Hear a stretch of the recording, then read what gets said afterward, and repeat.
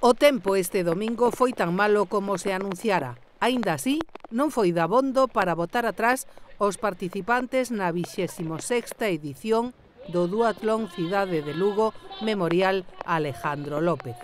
Ben, un pouco mollada, pero ben. Bueno, foi unha carreira que a primeira, bueno, o primeiro sector foi un pouco rápido, pero bueno, notouse que facía frío e que chovía, boa, porque, bueno, costaba un pouco, asomaba os pés un pouco fríos, despois na última carreira pasaba factura. Estes deportistas, igual que os profesionais, que disputaron o Campeonato Galego de Duatlón nas categorías feminina e masculina, competiron contra os seus rivais e tamén contra a chuvia e o vento. Nos non tivemos ningún incidente destacable, a proba transcorreu con, con normalidade. Esta é unha proba que está máis aberta a xente que se está iniciando no deporte, xente de categorías infantís, eh, cadete, xente máis nova, e a verdade que, bueno, aí aguantaron o, o chaparrón e sobre todo ese evento, pero ben, saliu ben.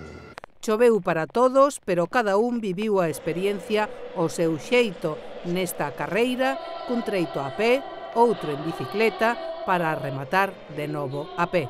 Pablo Muñiz marcou un ritmo bastante alto, aínda que, bueno, despois meu compañeiro máis eu do mesmo club démolo collido en bici e soltámolo, e despois na última carreira foi decidir a ver quen gañaba.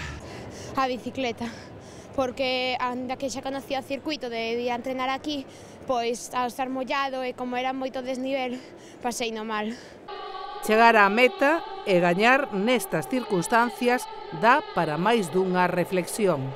Que hai que esforzarse ata o final, que por moi mal que vaya a carreira, que o que conta é a, a chegada, non, o, non, o, non a carreira en sí, nen a, no principio. No, no, sempre hai que participar, gañese, pérdase, sempre. Este domingo, nas beiras do río Miño, foi patente que o duatlón é unha disciplina ben arraigada en Lugo.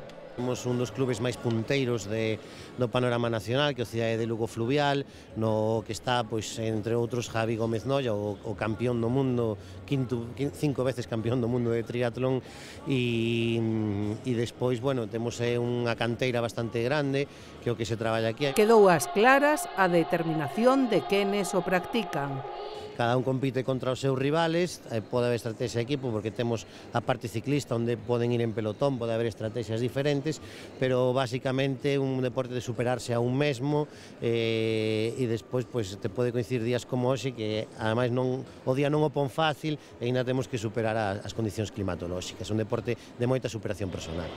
E sobre todo demostrouse que non hai borrasca que poida coa vontade dun deportista.